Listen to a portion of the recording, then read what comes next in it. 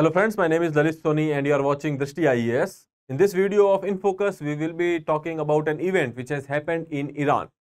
So there was this earthquake which has been recorded in Iran and there are speculations which is saying that it can be a nuclear test as well. So in this video, we will be discussing that whether it can be a nuclear test or not and we'll try to understand the situations in the Middle East and how this particular event can have various implications in the area. So let's start with the discussion.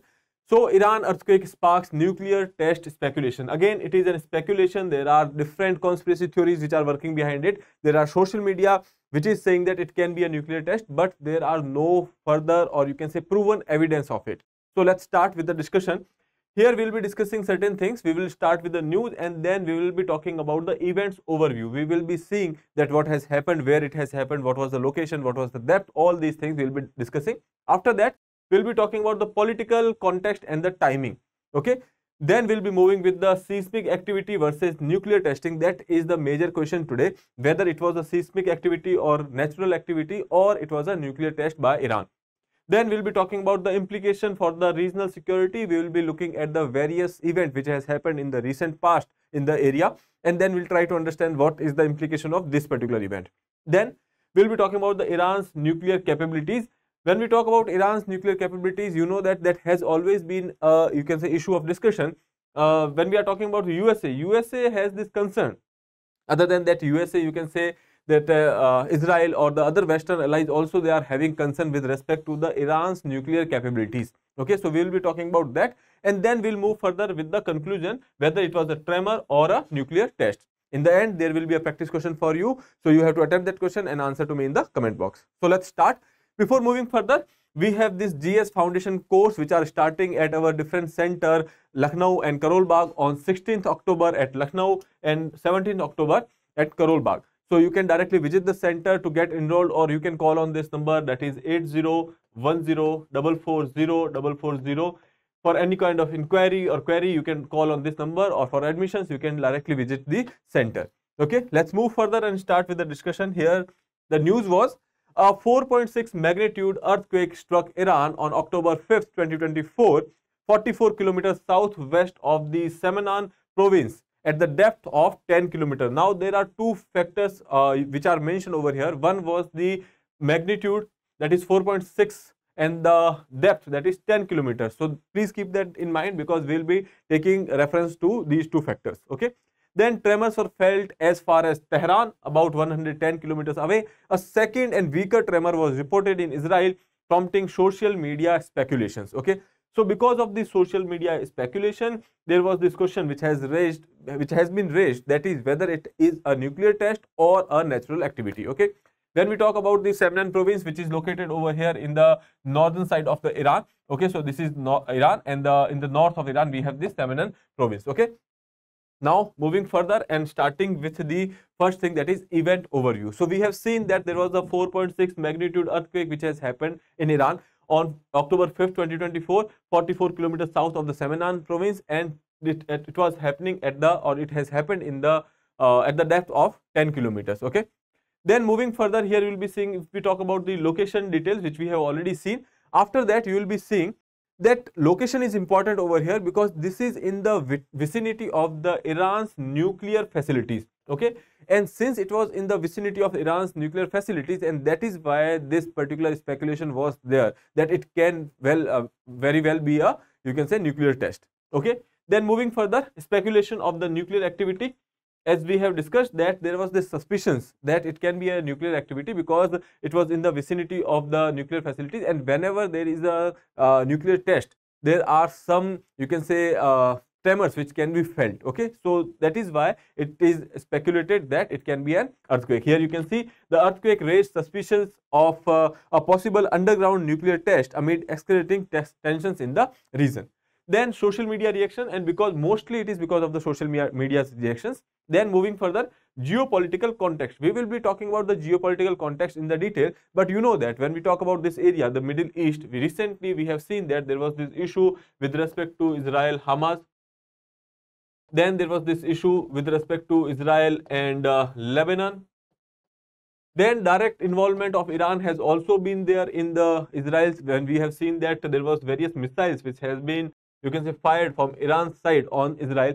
So that was also there. So considering all these things, these speculations are there in the you can say social media.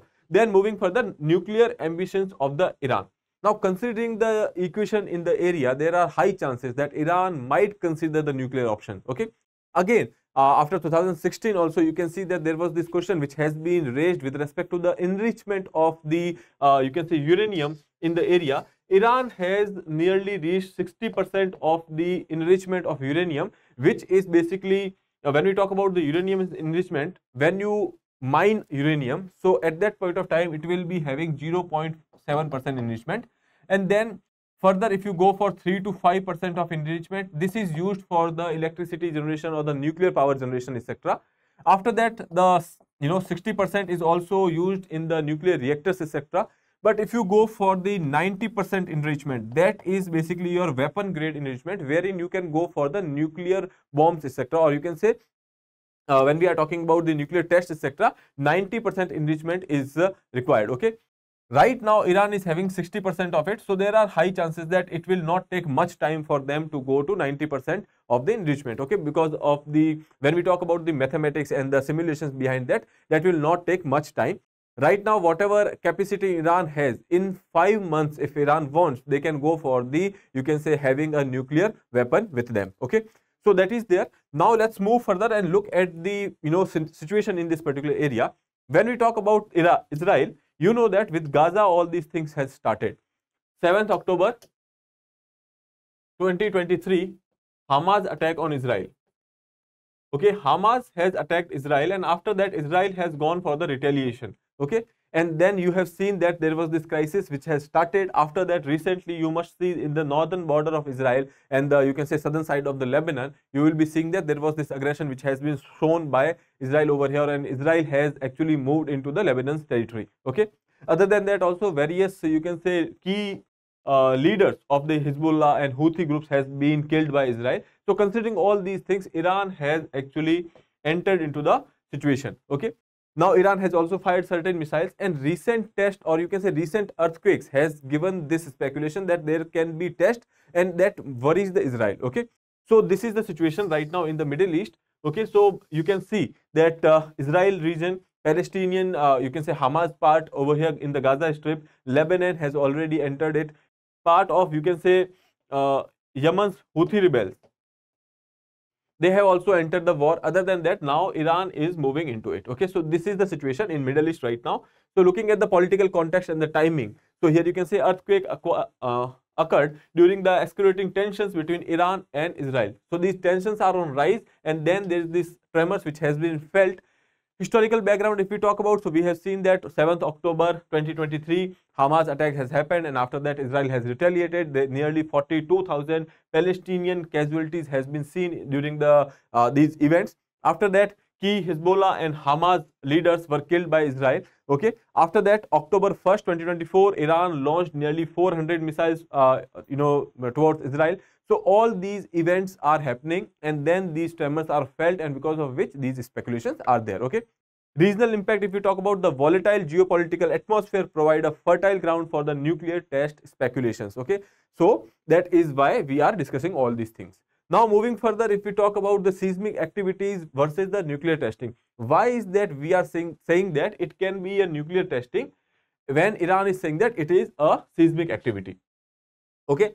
So there was this, uh, you can say, uh, tremor which are of the magnitude that is 4.6. Okay. Now these tremors are there, and when we talk about the nuclear testing, they are saying that it is a nuclear testing because where it has happened, that site is near to the, uh, you can say, Iran's nuclear facility. Okay. So that is why these speculations are there. But looking at the magnitude, okay, or you can say looking at the depth that is you can say a shallow depth of 10 kilometers we cannot say that it can be a nuclear testing okay so when whenever we are going for the nuclear testing, so there can be tremors and here you can see there are certain challenges conducting the underground nuclear test without surface disruption. It cannot be possible. Whenever there is a nuclear test, there can be, uh, you can say, these surface disruption. Okay. And if you want to make it covert or if you don't want to go for the surface disruption, that is the complex process. Now, a 4.6 magnitude event is not definitive proof of nuclear explosion. So, basically they are saying that considering the wave patterns and other uh, indicators which are there, we cannot say that it is a nuclear test. Okay. So, here you can see characteristics of a nuclear test. Underground nuclear detonation can cause seismic events that resembles the earthquake. Okay. Though whenever you are going for the nuclear test, there can be tremors. Okay. So, that can happen. But the kind of uh, you can say tremors which they have felt right now or the wave patterns which they have seen that is not resembling a you can say nuclear test. Moving further, a shallow depth of 10 kilometer of the earthquake aligns with the uh, natural seismic activity, but uh, could also be indicative of the underground explosion. Now they are saying that the depth that is 10 kilometers that can be a sign of a nuclear test or a natural activity because uh, for in both cases that can happen. The magnitude can also be there, but the thing is the wave pattern or the other indicators which are there which are not suggesting this particular thing. When we talk about the earthquake, earthquake have primary waves, secondary waves, etc. So looking at the wave pattern, you can say that whether it was a artificial activity or a natural activity. But looking at these wave patterns, it is suggested that it might not be a, you can say, nuclear activity. Okay, moving further, implications for the regional security. We have seen the situation of the Middle East. Okay, so for the Middle East, the stability is the need of the hour. But if there are these speculation or any kind of conspiracy theory that can actually increase the escalation in the region. Okay. So that is one thing. Earthquake raises concern over the stability in the volatile region because there are few people who are actually suggesting that it can be a nuclear test. Okay. So that is one thing. Second, policymaker strategic consideration because now if Israel is taking any action, so Israel has to consider all the things that it can very well be a natural activity. Okay, so that is there. Otherwise, there can be you can say uh, rise in the tension in this particular area. Then nuclear speculations, which we have already seen that since the equation between Iran and Israel is not right or the timing is not right, and because of which these spe speculations are there, and that can further escalate the situation. Now, Iran Israel escalating risk which is there which we have already discussed and the military perspective we have also seen. Okay so that is why in this region for the stability it is important that they sort it out. They do not go for any kind of speculative activities. Okay so that is there. Moving further if we talk about Iran's nuclear capabilities which we have already seen but uh, here we can talk about them in detail. Nuclear enrichment level up to 60% right now Iran is having that up to 60% and one more step and they can be at the 90% enrichment and that is basically your weapon grade enrichment. So that is where you will be going for a nuclear weapon. Okay, so that is their near weaponization threshold which has uh, which right now Iran is having. Iran's uranium enrichment is at 60% just below the 90% needed for the nuclear weapon raising alarm globally. Okay, so that is one concern. Second thing is potential for weaponization within months. Okay, now, if Iran wants to go for weaponization, it will take nearly 5 months for Iran, even less. So, considering that there are various tensions in this region or you can say various concerns are there in Israel or USA or other western allies. Okay. So, here you can see expert estimate Iran could produce enough uh, fissile material for a nuclear bomb under uh, you know few weeks. Okay. And if they want to you know go for uh, you can say production of the nuclear warheads. So they can go for production of 12 nuclear warheads within 5 months okay? So that is the kind of uh, capacity iran right now is having okay? Then missile capabilities and the delivery systems. When we talk about the missile capabilities and the delivery systems iran already has it okay? So advanced military technology iran's existing missile system could potentially deliver nuclear warheads and complicating the regional security dynamics.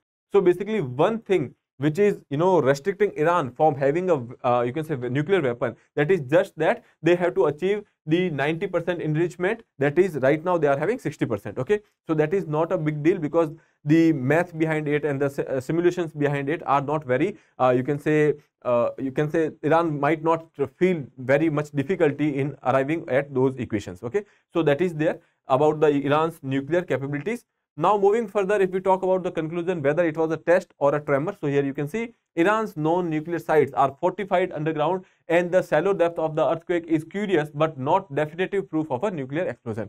So considering the wave pattern etc that is not a definitive proof only there can be chances but it is not a definitive proof. So that is there even though the International Atomic Energy Agency A uh, sorry IAEA that is continuing to monitor the, uh, you can say facilities in Iran. Iran's growing uranium enrichment levels combined with the missile capabilities are intensifying the concern that Iran, uh, the nuclear armed Iran may be, uh, may soon become a reality. So basically they are saying that though it is not a definitive proof that that was a you can say nuclear activity but there are high chances that in the future iran might get the nuclear weapon so that is a concern right now in the middle east. Okay so we have discussed the equation with respect to the middle east. We have seen that whether it can be a nuclear test or uh, you can say natural activity. So there can be chances but the wave patterns etc are suggesting otherwise. Okay so in the end we are having this question for you which you have to attempt and answer. Which agency is responsible for the monitoring nuclear activities and ensuring compliance in Iran? WHO, IAEA, that is basically you can say International Atomic Energy Agency, then NATO, and then UNGA, that is UN General Assembly. Okay, so you can attempt this question, answer to me in the comment box. With that, I would like to take your leave. I'll see you in the next episode. Till then, have a good day. Thank you, and please subscribe the channel. Bye.